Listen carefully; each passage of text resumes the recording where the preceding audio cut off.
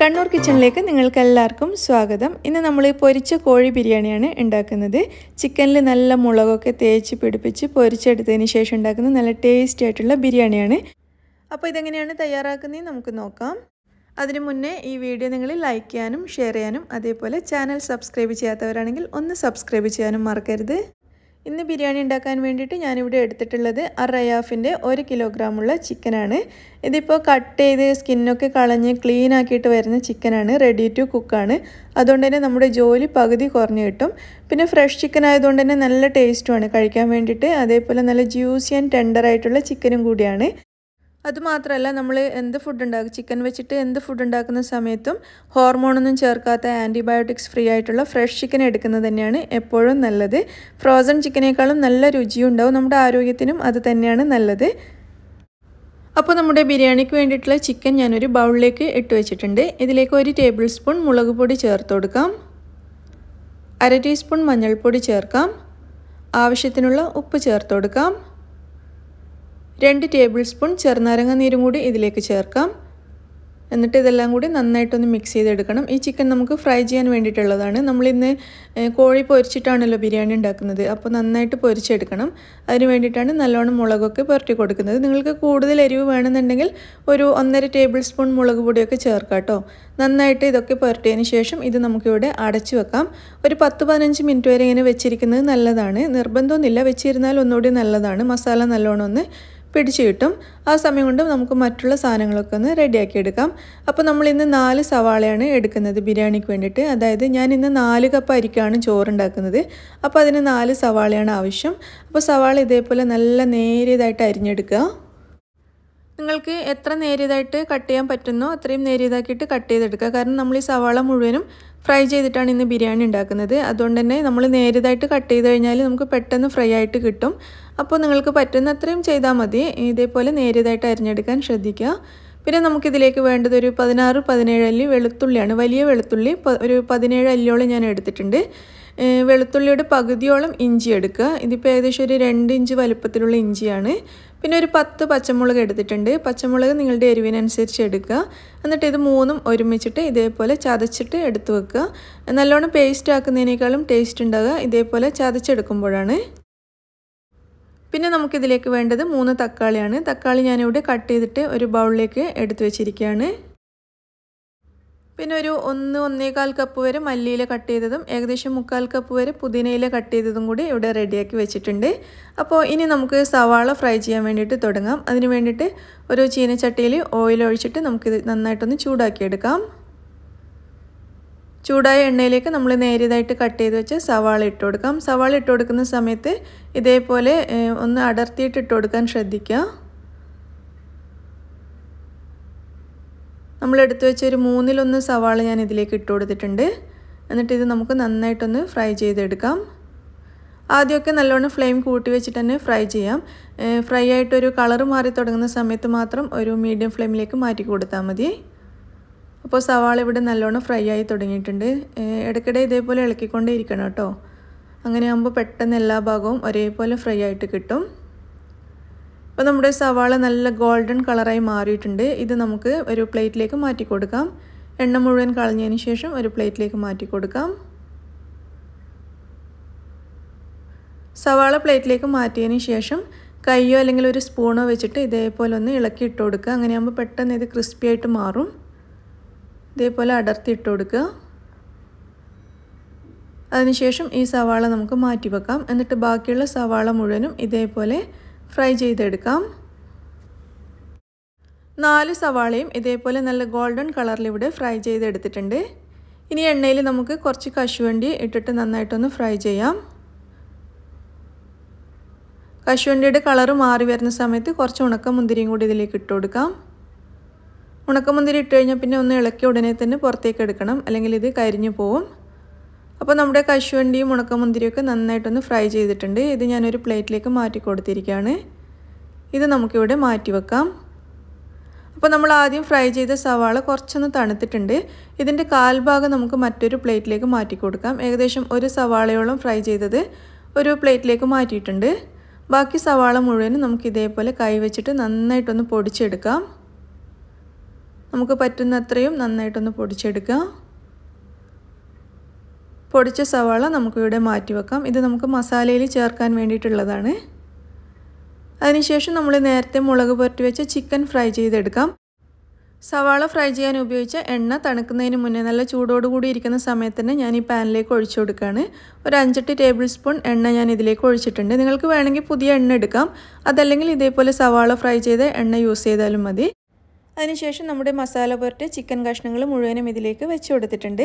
ഇത് നമുക്ക് നന്നായിട്ട് ഫ്രൈ ചെയ്തെടുക്കാം. രണ്ട് ഭാഗവും നന്നായിട്ട് വെന്ത് വരുന്നത് വരെ നന്നായിട്ട് ഫ്രൈ ചെയ്യണം. ഒരു മീഡിയം ഫ്ലെയിമിൽ വെച്ചിട്ട് ഫ്രൈ ചെയ്യുന്നതായിരിക്കും നല്ലത്. ഒരു ഭാഗം ഫ്രൈ ആയി കഴിയുമ്പോൾ നമുക്കിതൊക്കെ ഒന്ന് തിരിച്ച് വെച്ച് കൊടുക്കാം. എന്നിട്ട് ഇതിന്റെ മറ്റേ വശവും കൂടി നന്നായിട്ടൊന്ന് ഫ്രൈ ചെയ്തെടുക്കാം. ഇടയ്ക്കിടെ ഇതിന്റെ ഫ്രൈ ആവാത്ത ഭാഗങ്ങളൊക്കെ നോക്കിയിട്ട് തിരിച്ച് വെച്ച് കൊടുക്കാൻ ശ്രദ്ധിക്കണം. അതേപോലെ നന്നായിട്ട് രണ്ട് ഭാഗവും ഫ്രൈ ആയി കഴിഞ്ഞ് ചിക്കനൊക്കെ ഈ സമയത്ത് നമുക്ക് പ്ലേറ്റിലേക്ക് മാറ്റി കൊടുക്കുകയും ചെയ്യാം. ഒരുപാട് സമയം വെച്ച് കഴിഞ്ഞാൽ ചിക്കൻ വല്ലാതെ ഡ്രൈ ആയി പോവും. അതുകൊണ്ട് നോക്കിയിട്ട് ഫ്രൈ ആയി എന്ന് തോന്നിയ ചിക്കൻ പീസൊക്കെ നമുക്ക് പ്ലേറ്റിലേക്ക് മാറ്റി കൊടുക്കാം. കാലിന്റെ ഭാഗമൊക്കെ വേവാൻ വേണ്ടിയിട്ട് എന്തായാലും കുറച്ചധികം സമയം എടുക്കുമല്ലോ. അപ്പോൾ അതൊക്കെ കുറച്ചധികം സമയം വെച്ചിട്ട് ഫ്രൈ ചെയ്തെടുത്താൽ മതി. ഇപ്പോൾ നമ്മുടെ ചിക്കൻ മുഴുവനും നന്നായിട്ട് ഫ്രൈ ആയിട്ടുണ്ട്. ഇത് മുഴുവൻ നമുക്കൊരു പ്ലേറ്റിലേക്ക് മാറ്റി കൊടുക്കാം.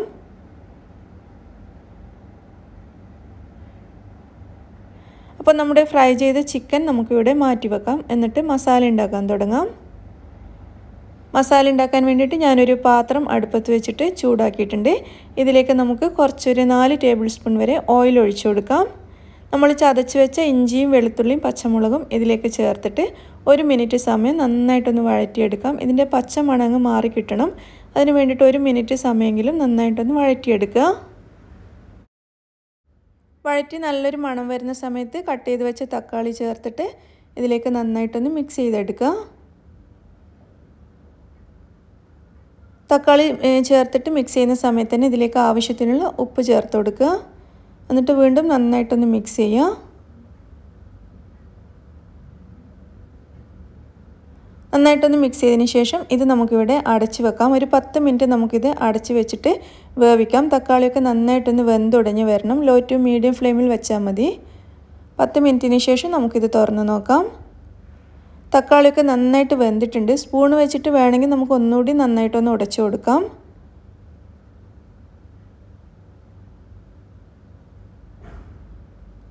അതിനുശേഷം നമ്മൾ നേരത്തെ ഫ്രൈ ചെയ്ത് പൊടിച്ച് വെച്ച സവാള മുഴുവനും ഇതിലേക്ക് ചേർത്ത് കൊടുക്കുക.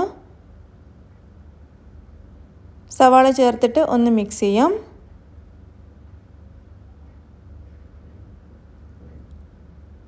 അതിനുശേഷം നമ്മൾ ഫ്രൈ ചെയ്ത് വെച്ച ചിക്കനും കൂടി ഇതിലേക്ക് ചേർത്ത് കൊടുക്കാം.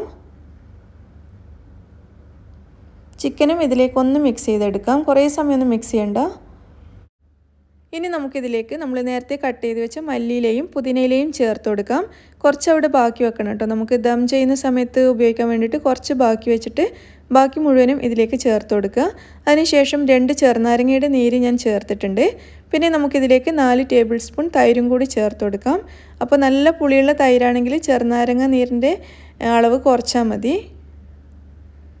എന്നിട്ട് എല്ലാം കൂടി ഇതേപോലെ നന്നായിട്ടൊന്ന് മിക്സ് ചെയ്തെടുക്കാം. എല്ലാം കൂടി യോജിച്ച് വരുന്ന രീതിയിൽ നന്നായിട്ടൊന്ന് മിക്സ് ചെയ്തതിന് ശേഷം നമുക്കിതിലേക്ക് ഒന്നര ടീസ്പൂൺ ഗരം മസാല പൗഡർ ചേർത്ത് കൊടുക്കാം. ഇത് ഹോം മെയ്ഡ് ഗരം മസാല പൗഡറാണ് ഇതിന്റെ ലിങ്ക് ഞാൻ ഡിസ്ക്രിപ്ഷൻ ബോക്സിൽ കൊടുക്കാം. വീഡിയോ ഞാൻ മുന്നേ ചെയ്തിട്ടുണ്ടായിരുന്നു. ഗരം മസാല പൊടിയും കൂടി ചേർത്തിട്ട് ഒന്നുകൂടി ഒന്ന് മിക്സ് ചെയ്തെടുത്തിട്ടുണ്ട്. ഇനി നമുക്കിതിവിടെ അടച്ച് വെക്കാം. എന്നിട്ട് ഒരു അഞ്ച് മിനിറ്റ് ഇതെല്ലാം കൂടി ഒന്ന് യോജിച്ച് വരാൻ വേണ്ടിയിട്ട് ഒന്ന് വേവിച്ചെടുക്കാം. ലോ ഫ്ലെയിമിൽ വെച്ചാൽ മതി. ഒരു അഞ്ച് മിനിറ്റിന് ശേഷം നമുക്കിത് തുറന്ന് നോക്കാം. അപ്പോൾ നമ്മുടെ ബിരിയാണി മസാല ഇവിടെ റെഡി ആയിട്ടുണ്ട്. എല്ലാം കൂടി നല്ല പാകത്തിന് വെന്ത് എല്ലാം യോജിച്ച് വന്നിട്ടുണ്ട്. ഇത് നമുക്ക് അടച്ച് വെച്ചിട്ട് അടുപ്പത്തു നിന്ന് മാറ്റാം. ഇനി നമുക്ക് ചോറുണ്ടാക്കണം. അതിന് വേണ്ടിയിട്ട് നാല് കപ്പ് ജീരകശാല റൈസാണ് ഞാനിവിടെ എടുത്തിരിക്കുന്നത്. ബസ്മതി റൈസ് വേണമെങ്കിലും ഉപയോഗിക്കാം. പക്ഷേ നല്ല ടേസ്റ്റ് ഉണ്ടാവുക ജീരകശാല റൈസാണ് അപ്പോൾ ഈ നാല് കപ്പ് അരി നമുക്ക് നന്നായിട്ടൊന്ന് കഴുകിയെടുക്കാം. അരി കഴുകിയതിന് ശേഷം ഇതേപോലെ വെള്ളത്തിലിട്ട് വെക്കുക. നിങ്ങൾക്ക് സമയമുണ്ടെങ്കിൽ ഒരു അരമണിക്കൂർ വരെയൊക്കെ വെക്കുക. ഒരു പത്ത് മിനിറ്റെങ്കിലും വെച്ചിരിക്കുന്നത് നല്ലതായിരിക്കും. അപ്പോൾ ഞാനിന്നൊരു പത്ത് മിനിറ്റ് മാത്രമേ ഇത് വെള്ളത്തിലിട്ട് വെച്ചിട്ടുള്ളൂ. അതിനുശേഷം നമുക്ക് ചോറുണ്ടാക്കാം. ചോറുണ്ടാക്കാൻ വേണ്ടിയിട്ട് ചൂടായ പാനിലേക്ക് നമുക്കൊരു നാലഞ്ച് ടേബിൾ സ്പൂൺ നെയ്യ് ചേർത്ത് കൊടുക്കാം. ഇതിലേക്കൊരു നാല് ടേബിൾ സ്പൂൺ ഓയിലും കൂടി ഞാൻ ചേർക്കുന്നുണ്ട്. ഞാനിവിടെ എടുത്തത് മുഴുവൻ സൺഫ്ലവർ ഓയിലാണ് കേട്ടോ ഉള്ളി പൊരിക്കാനാണെങ്കിലും ഒക്കെ സൺഫ്ലവർ ഓയിലാണ് എടുത്തിരിക്കുന്നത്. ഇനി ഇതിലേക്ക് രണ്ട് കഷ്ണം പട്ട ചേർക്കാം. ഒരു നാല് ഏലക്കായ് ചേർത്ത് കൊടുക്കാം. ഒരു നാലഞ്ച് ഗ്രാമ്പൂ കൂടി ഇതിലേക്ക് ചേർക്കാം. ഒരു ബേ ലീഫ്. ഇത്രയും ചേർത്തിട്ട് ഇതെല്ലാം കൂടി ഒന്ന് ചൂടായിട്ട് വരണം. ചൂടായി വരുന്ന സമയത്ത് നമുക്കിതിലേക്ക് ആറ് കപ്പ് വെള്ളം ചേർത്ത് കൊടുക്കാം. നാല് കപ്പ് അരി വേവിക്കാൻ വേണ്ടിയിട്ട് നാല് കപ്പ് വെള്ളമാണ് ചേർക്കുന്നത്. ഒരു കപ്പ് അരിയാണെങ്കിൽ ഒന്നര കപ്പ് വെള്ളം കേട്ടോ അത്രയും ചേർത്ത് കൊടുക്കുക. ആവശ്യത്തിനുള്ള ഉപ്പും കൂടി ഇതിലേക്ക് ചേർത്ത് കൊടുക്കുക. എന്നിട്ട് ഇതെല്ലാം കൂടി ഒരുമിച്ച് നന്നായിട്ടൊന്ന് മിക്സ് ചെയ്യാം. അതിനുശേഷം വെള്ളം തിളക്കാൻ വേണ്ടിയിട്ട് നമുക്കിവിടെ അടച്ച് വെക്കാം. വെള്ളം നന്നായിട്ട് വെട്ടി തിളച്ച് വരുന്ന സമയത്ത് നമ്മൾ നേരത്തെ കഴുകി വെച്ച അരി വെള്ളം മുഴുവൻ കളഞ്ഞതിന് ശേഷം ഇതിലേക്ക് ചേർത്ത് കൊടുക്കുക. അരി ചേർത്തിട്ട് നന്നായിട്ടൊന്ന് മിക്സ് ചെയ്യാം. മിക്സ് ചെയ്തതിന് ശേഷം നമുക്കിതിവിടെ അടച്ച് വെക്കാം. എന്നിട്ടൊന്ന് തിളക്കുന്നത് വരെ വെയിറ്റ് ചെയ്യണം. ഇതിപ്പോൾ നന്നായിട്ട് തിളച്ച് വരാൻ തുടങ്ങിയിട്ടുണ്ട്. ഈ സമയത്ത് നമുക്ക് ഇതിന്റെ ഫ്ലെയിം നല്ലോണം കുറച്ച് കൊടുക്കുക. വെള്ളം തിളക്കാൻ വേണ്ടിയിട്ട് ഞാനിത് ഹൈ ഫ്ലെയിമിൽ വെച്ചിട്ടുണ്ടായിരുന്നു. ഇനി ഇത് നല്ലോണം ഫ്ലെയിം കുറച്ച് കൊടുക്കുക. ഏറ്റവും ലോ ഫ്ലെയിമിൽ വെച്ചിട്ട് ഒരു ഏഴ് എട്ട് മിനിറ്റ് സമയം നമുക്കിത് വേവിച്ചെടുക്കാം. അപ്പോഴേക്കും ചോറ് നന്നായിട്ട് വെന്ത് കിട്ടും.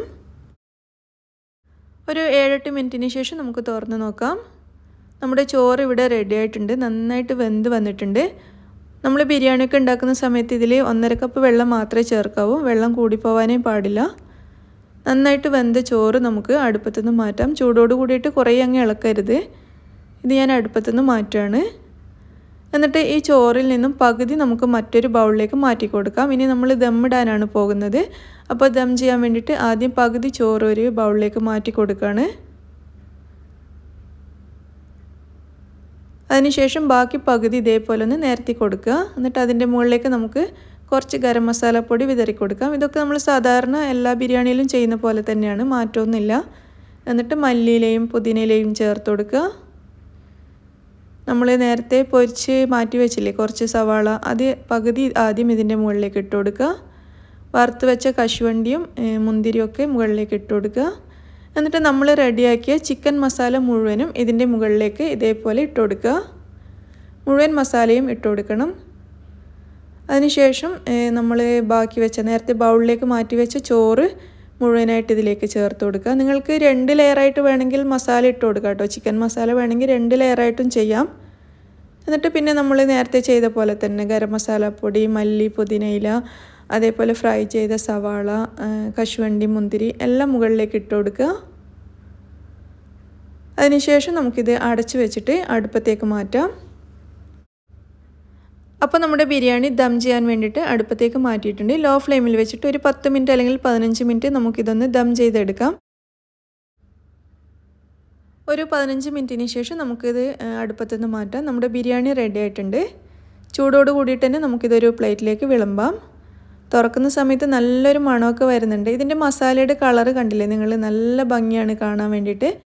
നമ്മൾ ഈ ചിക്കൻ ഫ്രൈ ചെയ്തിട്ട് വെക്കുന്ന ആ ഒരു മസാല ഉണ്ടല്ലോ അത് കാണാൻ തന്നെ നല്ല ഭംഗിയാണ്. അതേപോലെ തന്നെ കഴിക്കാനും ഭയങ്കര ടേസ്റ്റാണ് കേട്ടോ. നല്ല മണമൊക്കെയാണ്. അപ്പോൾ നമ്മുടെ ബിരിയാണി റെഡി ആയിട്ടുണ്ട്. മുകളിൽ ഞാൻ കുറച്ച് ഫ്രൈ ചെയ്ത ചിക്കൻ പീസ് വെച്ച് കൊടുക്കുന്നുണ്ട്. ഇത് ഞാൻ നേരത്തെ മസാലയിൽ ചിക്കൻ ഇടുന്ന സമയത്ത് ഒരു മൂന്നാൽ പീസ് ബാക്കി വെച്ചിട്ടുണ്ടായിരുന്നു. ഇങ്ങനെ മുകളിൽ വെച്ച് കൊടുക്കാൻ വേണ്ടിയിട്ട്. അപ്പോൾ മുകളിൽ നമുക്ക് കുറച്ച് മല്ലിയിലയും ഫ്രൈ ചെയ്ത സവാളയൊക്കെ ഇട്ട് കൊടുക്കാം. കുറച്ച് അണ്ടിപ്പരിപ്പൊക്കെ വെച്ച് കൊടുക്കാം. അപ്പോൾ നമ്മുടെ നല്ല ടേസ്റ്റി ആയിട്ടുള്ള പൊരിച്ച കോഴി ബിരിയാണി ഇവിടെ റെഡി ആയിട്ടുണ്ട്. പിന്നെ നമ്മൾ ഇന്ന് ദം ചെയ്തെടുത്തത് കുറച്ച് ഈസി ആയിട്ടുള്ള ഒരു മെത്തേഡാണ് അപ്പോൾ ഞാൻ നമ്മൾ മൈദയൊക്കെ ഒട്ടിച്ചിട്ട് ദം ചെയ്യുന്ന രീതിയിലുള്ള ഒരു മട്ടൺ ബിരിയാണി റെസിപ്പി മുന്നേ ചെയ്തിട്ടുണ്ട്. അപ്പോൾ അങ്ങനെ ചെയ്യണമെന്നുള്ളവർക്ക് ആ വീഡിയോ ഒന്ന് കണ്ടു നോക്കാം കേട്ടോ. ഞാൻ അതിന്റെ ലിങ്ക് ഡിസ്ക്രിപ്ഷൻ ബോക്സിൽ കൊടുക്കുന്നതായിരിക്കും. അപ്പോൾ നിങ്ങൾക്ക് എല്ലാവർക്കും നമ്മുടെ പൊരിച്ച കോഴി ബിരിയാണി ഇഷ്ടമായി എന്ന് വിചാരിക്കുന്നു. ഇഷ്ടമാവുകയാണെങ്കിൽ നിങ്ങളുടെ ഫ്രണ്ട്സും റിലേറ്റീവ്സും ഒക്കെ ആയിട്ടൊന്ന് ഷെയർ ചെയ്യുക. അതേപോലെ നിങ്ങളുടെ അഭിപ്രായങ്ങൾ അറിയിക്കുക. താങ്ക്